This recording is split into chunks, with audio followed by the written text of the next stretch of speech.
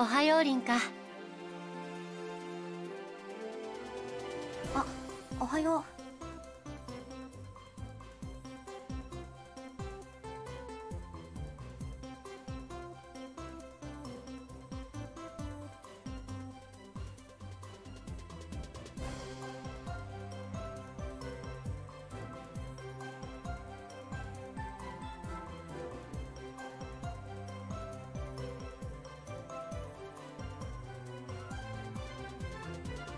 今週ずっと考え込んでいるように見えたけれど少しすっきりしたようだね。何かあったのかい？何か？ううん。ちょっとお散歩しただけ。くす。そうかい。難しい顔をする凛花も魅力的だけれど今日くらいは気分転換をした方がいい。羊さんの頑張りの成果も見に行くのだろ？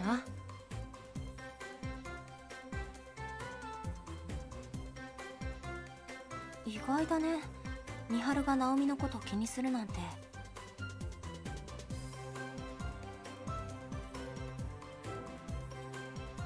そうかな。僕もちゃんと彼女が頑張っていたことは認めているよ。そうだね。やっと笑ってくれたね。僕でも君を笑わせることができて安心しているよ。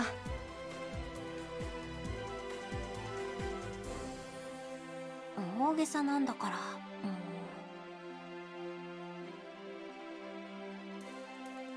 おはよう。いや寝坊しちゃったよ。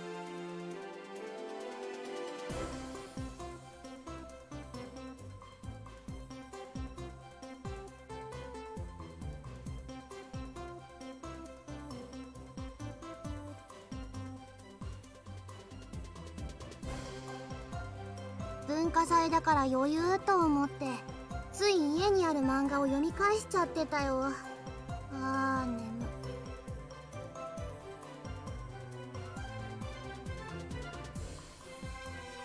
平日だって同じでしょ？まあちょっと早めに待ち合わせしておいたし大丈夫。行こうか。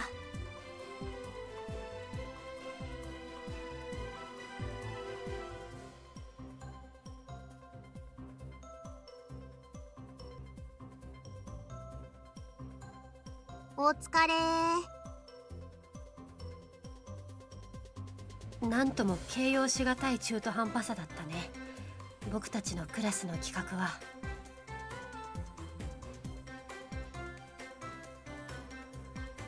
占いの館という安直な名前なのはともかくとして部屋を暗くして水晶を置いておけば雰囲気が出ると思っているようだね。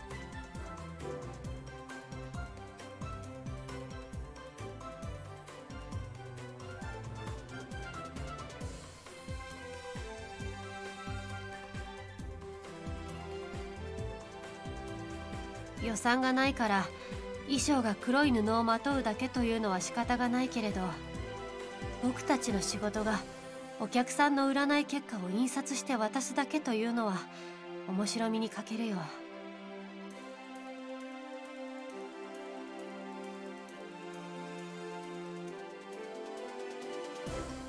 美晴今日毒がすごいね。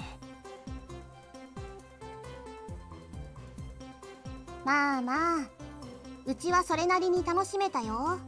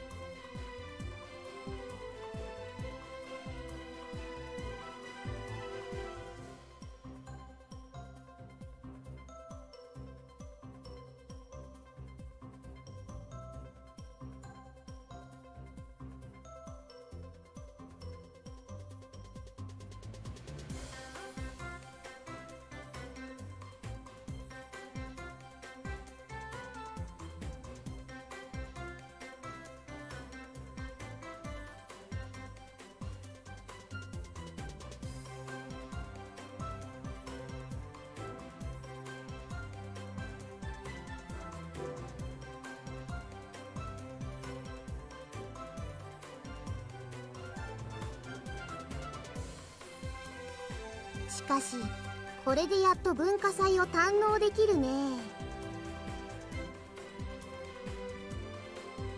羊さんの喫茶店へ立ち寄ったら僕は図書室で午後まで時間を潰して帰宅させてもらうけどね。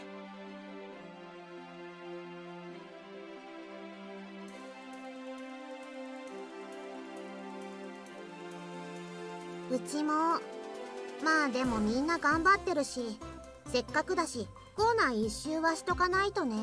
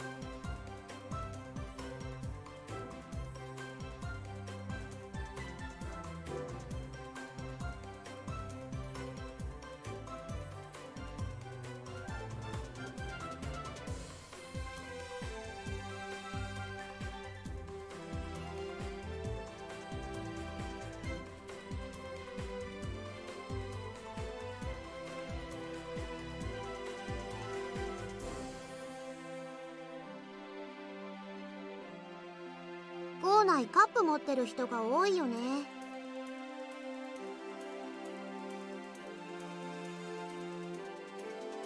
プラスチックのキャップのついた紙コップだね。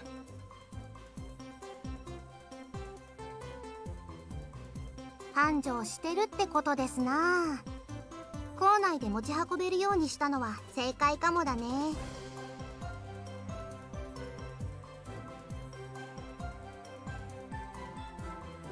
ナオミ頑張ってるかな？リータンも気になる？じゃそろそろナオリンの教室に突撃しよう。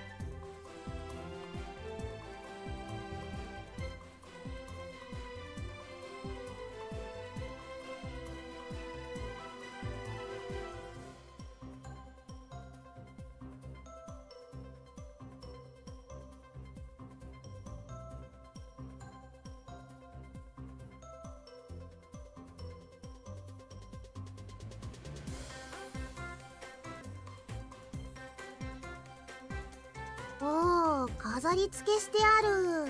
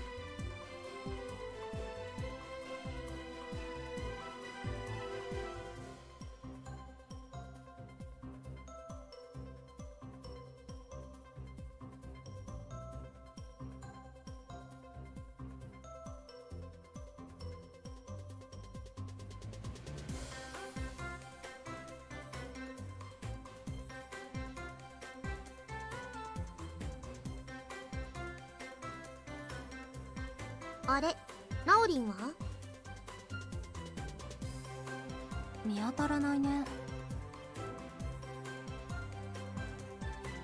ちょっとうち聞いてみるよ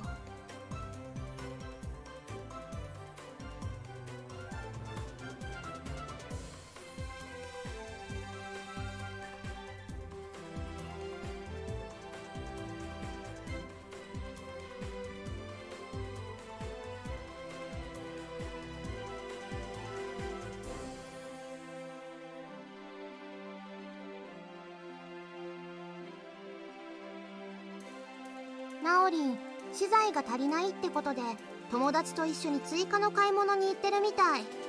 さっき出たばっかりだからちょっと時間かかるかもって。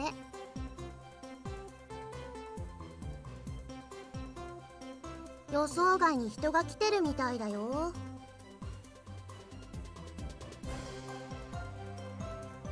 羊さん場を任せられるようにきちんとしていたんだね。さすがだよ。どうする？また後で来る？せっかく来たしいただいてこっか。またちょっとしたら来ればいいし。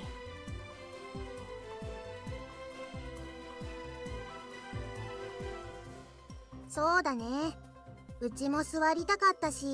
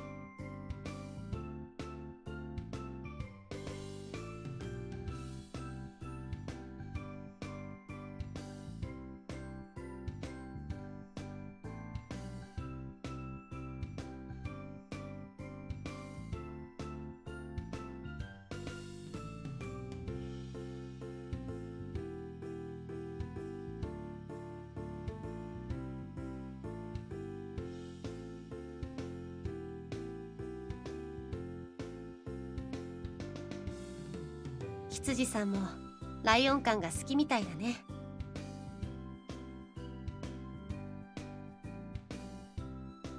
言われてみれば小物とかのセンスも似てるよね。出張版？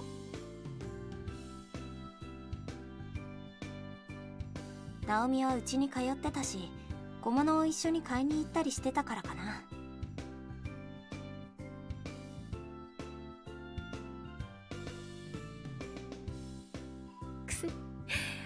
だね。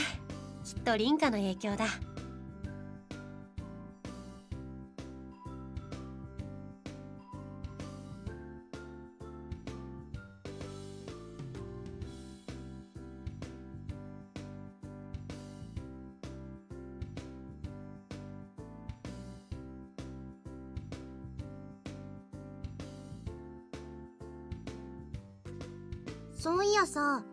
最近一年に転校生来てたりしてたっけ？白い髪の小さい子なんだけど見覚えがなくって。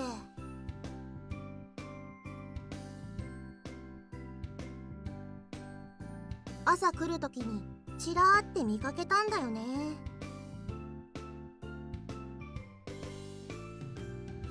転校生かい？わからないよ。僕はあまり他の学年のことは知らないからね。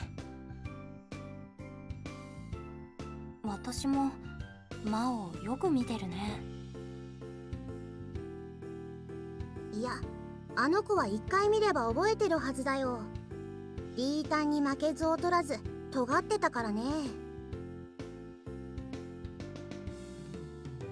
高一にしてはちょっと幼い感じだけどボーイッシュな顔つきで可愛い感じあれはバレンタインにチョコもらいまくりですな。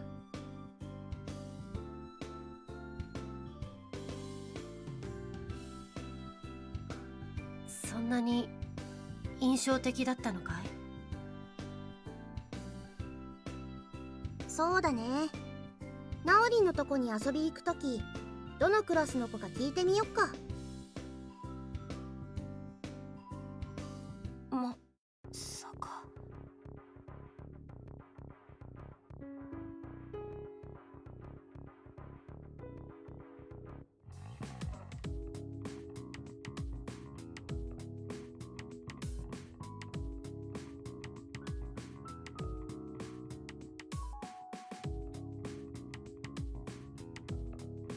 でも考えすぎかな。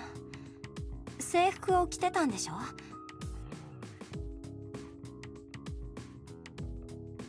そう。だから1年生の子って分かったんだけど。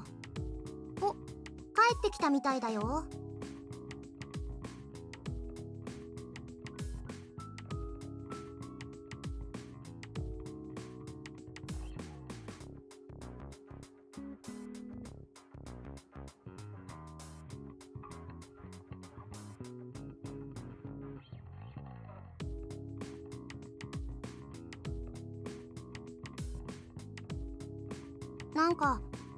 知り合いがいるかもって挨拶しに行ったんだって。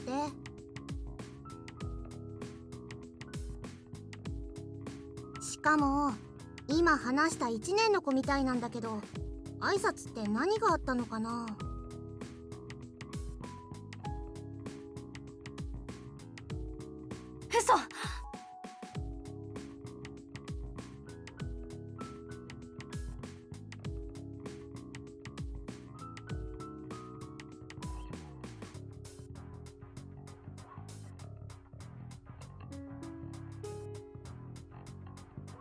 ごめん。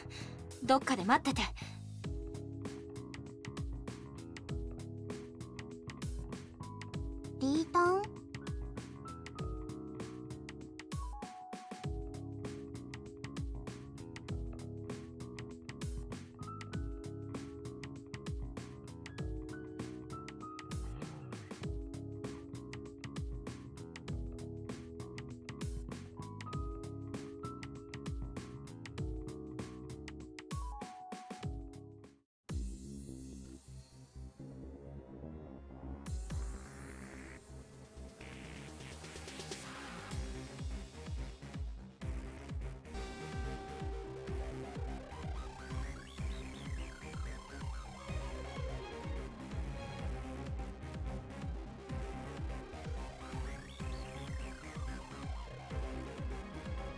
ナオ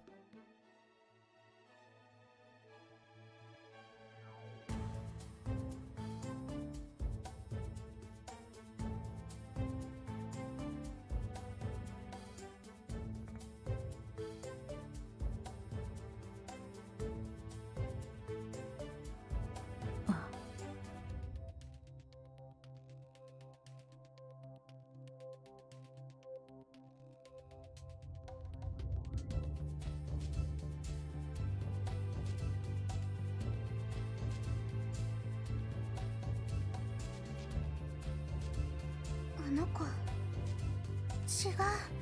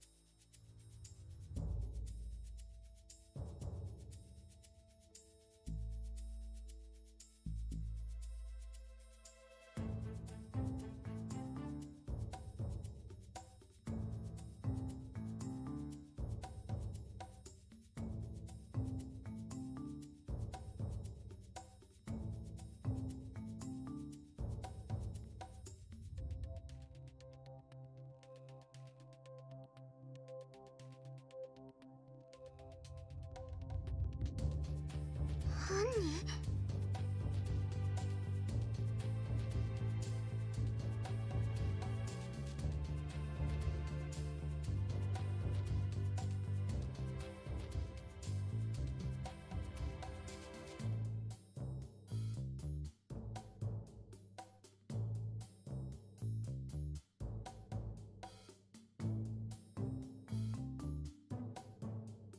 あの子との因縁は。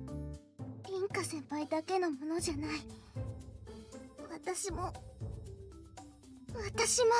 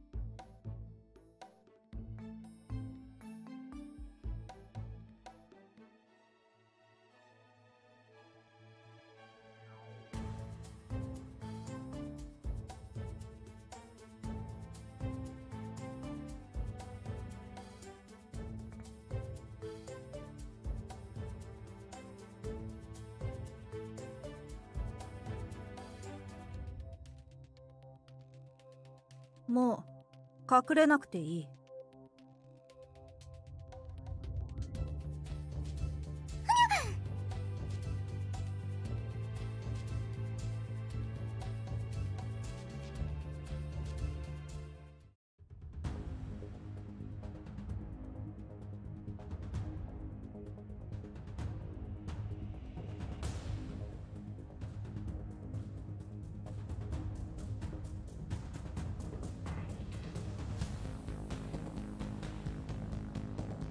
お前が一番の大切なものだということは分かっている。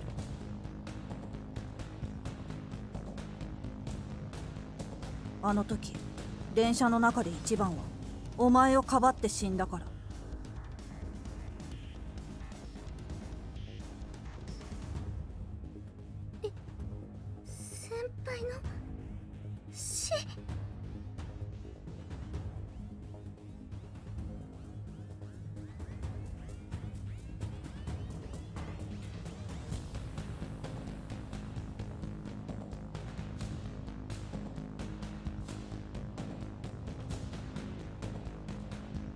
前自身に恨みはない。だけどお前には犠牲になってもらう。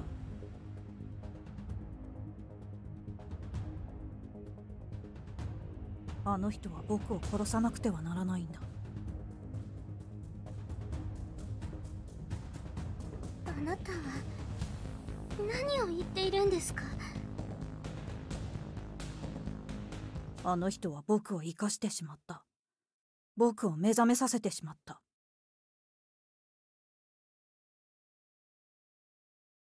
僕は生きていてはいけない人間だ。たった一つの生き方しかできないから。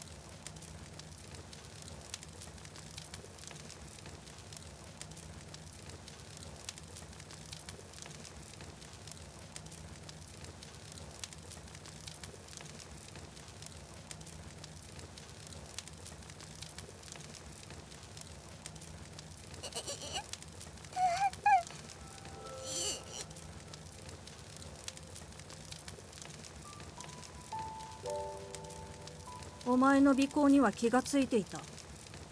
もともとお前をこの教室に連れて行こうと思っていたから助かったよ。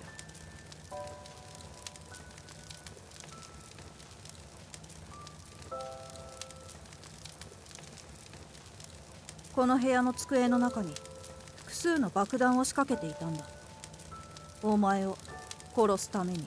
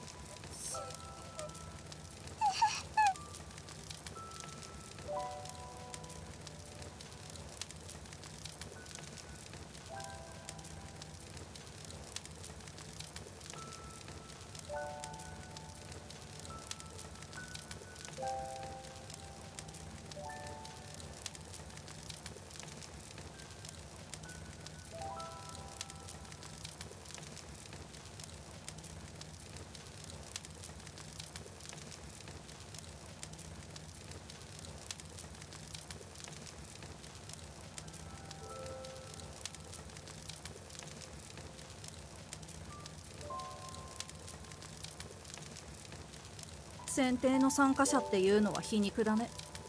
こんな狭いところで爆発させれば僕だってただでは済まないはずにもかかわらず傷は頬の切り傷一つ。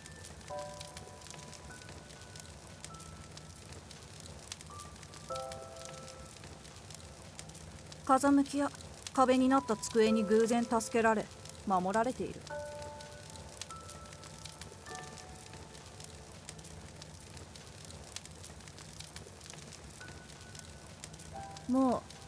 喋れないようだね。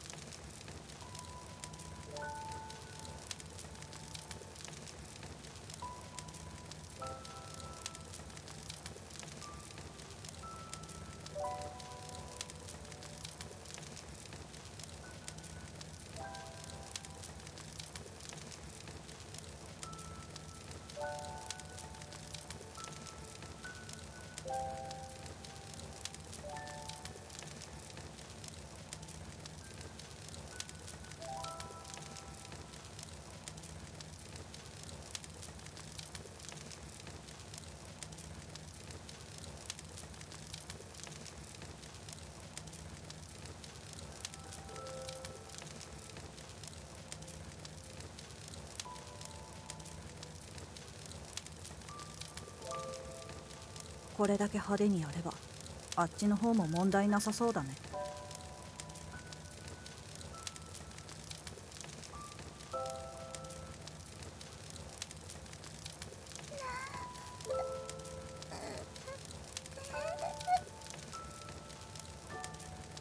まだ喋れたのかさっきからそればっかりだねお前は。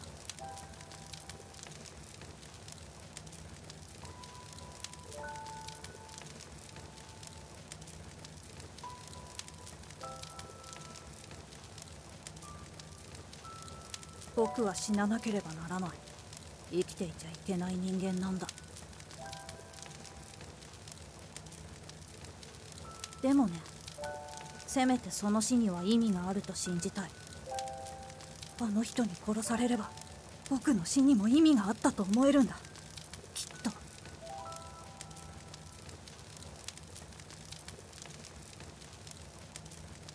あの人は僕を殺せなかった。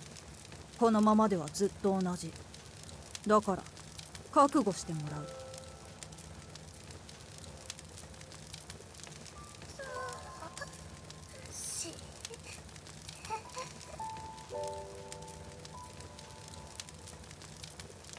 しつこいな。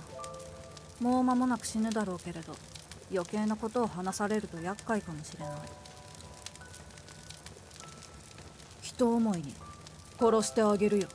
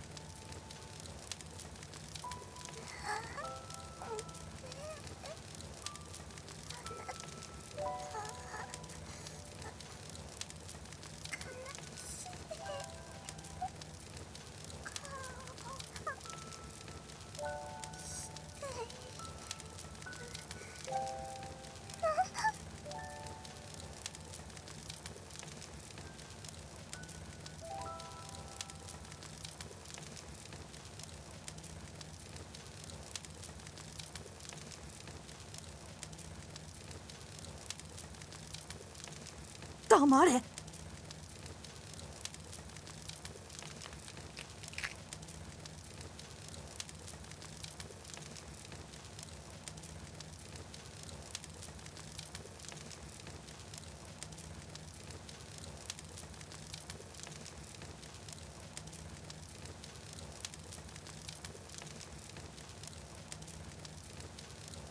うん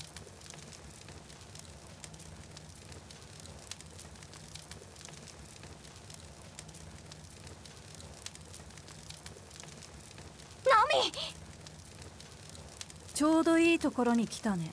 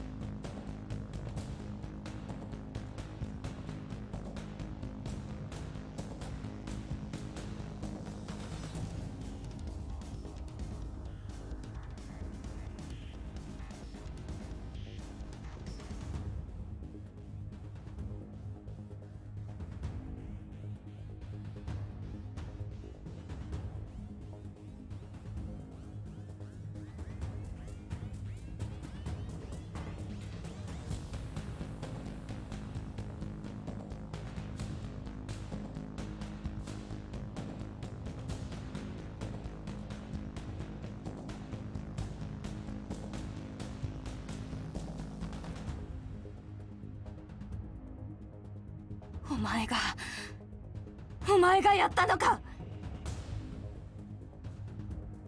僕は昔から英雄になるようにと刷り込まれてきた。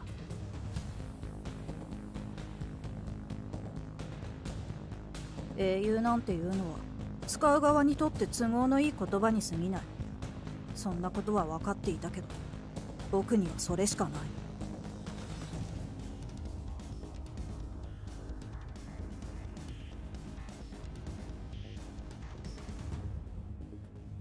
両親を知らず友人を知らず仲間も知らなかった。かつての僕にあったのはただすべきことだけ。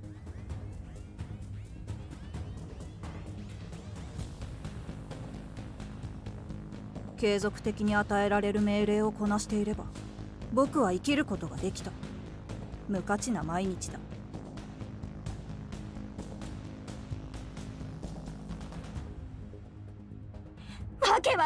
こと言うなよ。ナオミはナオミに何をした？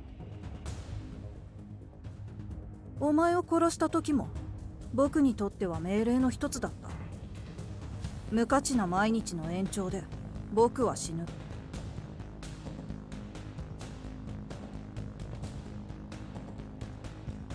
僕には僕自身にとって無価値な英雄という言葉が贈られるはずだった。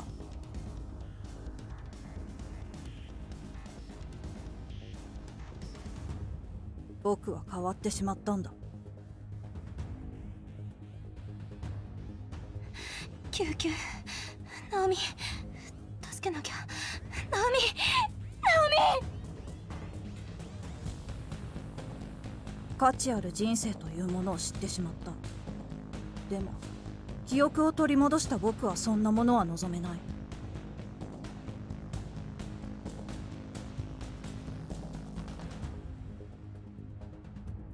ならせめて僕はお前に価値ある死を送られたい。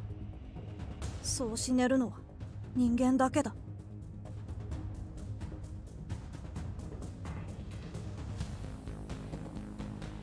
僕は人間だ。人形なんかじゃないんだ。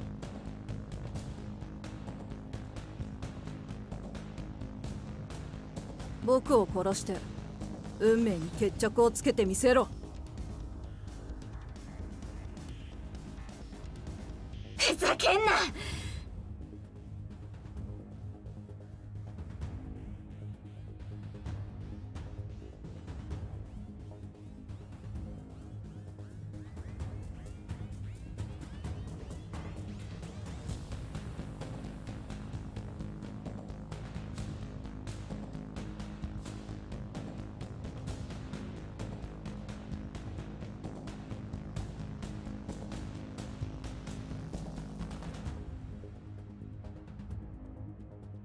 好きにすればいい。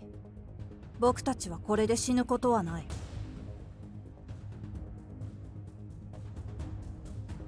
最後にこれだけ言っておくよ。ナオミを。僕だって簡単に殺されるつもりはないよ